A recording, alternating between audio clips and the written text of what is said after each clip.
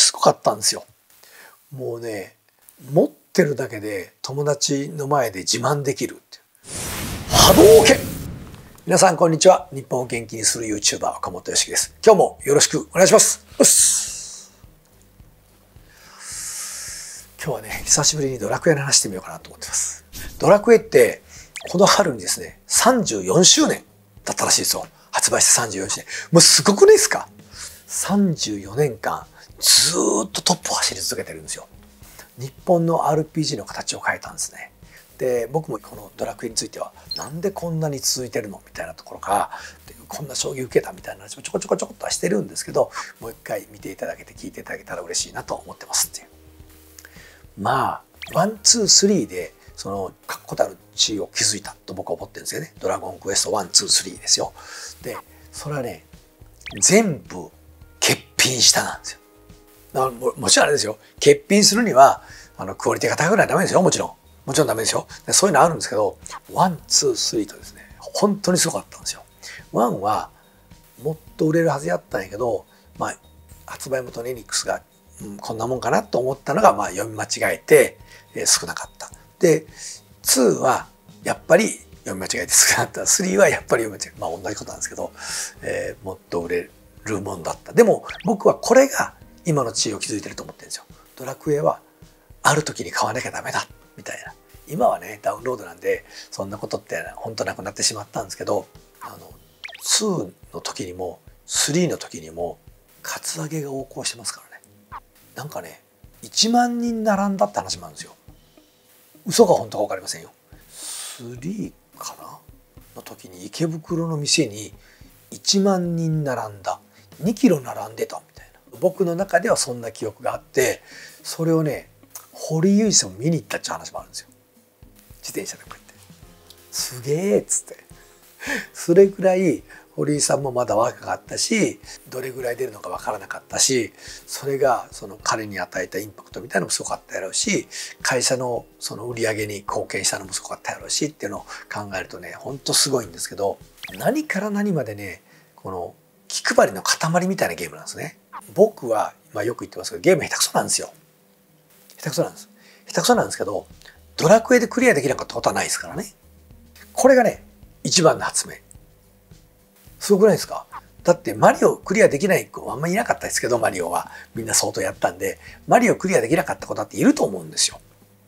ゼルダだって諦めた人がいるんじゃないかと思ってますっていう中でですよ。で中でドラクエは諦める必要がないんですよ。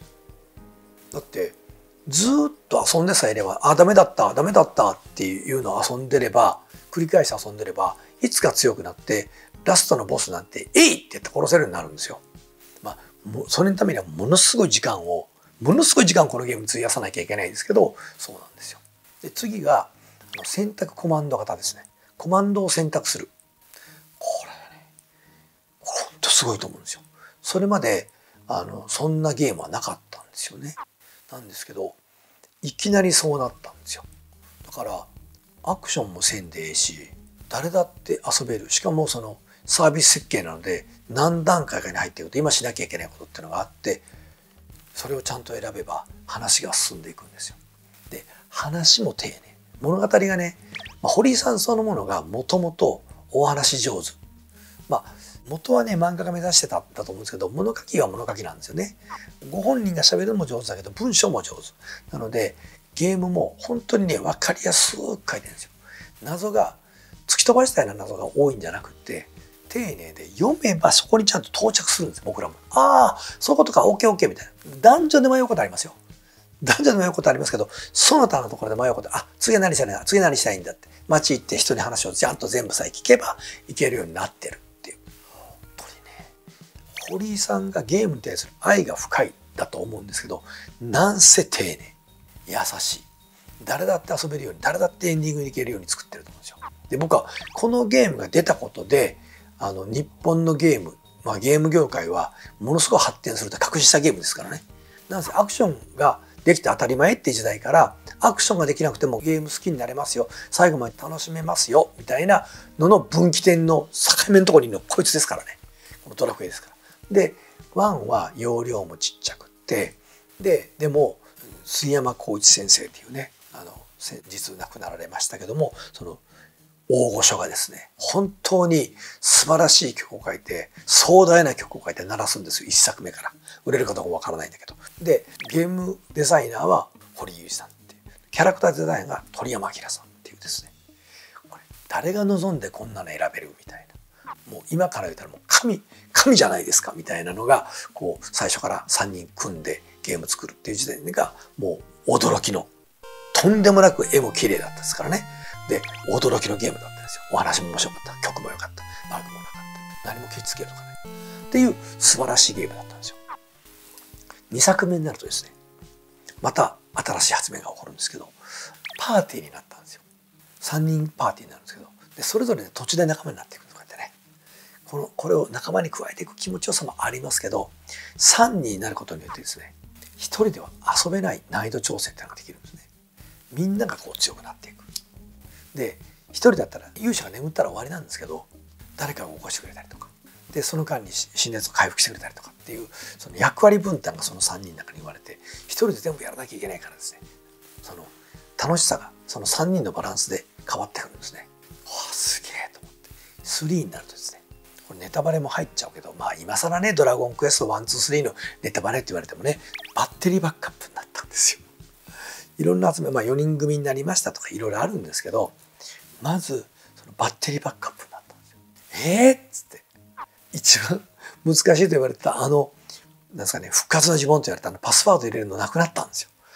みんなの想像の上に上に上にこう作られていくこの3作が欠品して売られるっていうんだからそりゃみんな大喜びですわねと。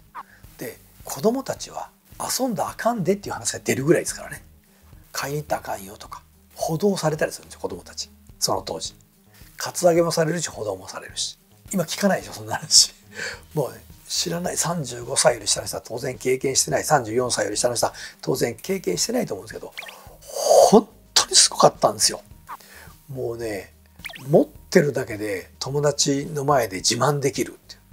こうだマジで？みたいな。これ僕ら大人でさえこうたことを自慢できてましたから「ええー、お前変えたマジか本当か?」とか言って。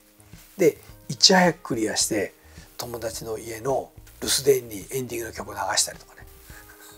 わざわざ留守のところにそれを流してあげたりとかする。そんないたずらをする大人がいたりぐらいあのうわそれ聞きたくなかったのにみたいなのを、えー、意地悪するぐらいそのみんなが遊んでてそのエンディングまで行くのを楽しみにしてと。タピさんは RPG はレベルを上げてラスボスに行く派ですか？それとも適度な難易度で行くかそれとも急いで行く派です？どれですか？結構経験値貯めてから貯めて派行く派ですね。用意周到。用意周到、はい、それも気持ちいいですよね。だからそのこの遊びがあの選べるんですよ。同じ遊びや同じシナリオやなと思う。違うんですよ。全然違うんです。みんな違う遊び方するんですよ。僕は早く行きたい派なんです。もう逃げる逃げるを選択してもうなんかイベントのやつは倒さなきゃいけないからそれ倒すと経験値たくさん入るんであんまり倒さなくてガッといって、まあ、ドラクエなんかでレベル30手前ぐらいでラスボスのとこまで行きたい派なその方がこう緊張感があって「やられた!」とかっていうのが好きな派なので物理的な時間をあの短縮して急いでいくっていうのを僕は、えー、やりたい派なんでちょうどタピさんと真反対側にありますね。であのゲーム上手じゃなくてもアクションが上手でなくてもちょっと考えるだけとかそのアイテム使うだけみたいなんでいけるじゃないですか。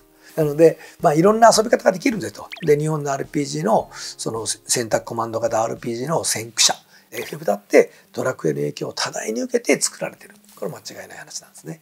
なので、本当にいろんなゲームの参考に今でもなります。で、今でもそのナンバリングタイトルはずっと出てきて、今でも携帯アプリとかに昔のが移植されたり、また新しいタイトルとしてアプリが遊べたりとかってことですね。ドラゴンクエストは本当にいろんな派生も生んでます。こういうゲームを作った堀井さんが一般的に言いますよ。一般的にこういうゲーム作った人っていうのはそれ一本で飯食うんですよ。堀井さん違いますからね。違いますか？めちゃくちゃヒット作たくさん作ってますから。やらしいんですよ、もう。そんなね、大ヒット作を何本も作ってるゲームクリエイターなんて、本当にね、数人ですから。で、そんないない中の、この偉大な方が作られた日本が RPG に随分こうシェアを取られるきっかけになったゲームっていうのが「ドラゴンクエスト」その後みんなが影響を受けて日本人みんな RPG 好きみたいなことなっていったんですけどまだ RPG とは何ぞやみたいに言われてる頃に出されたこれの、えー、凄さっていうのをですね、まあ、目の当たりにできた僕は本当幸せもんやったなと思ってるんですよ。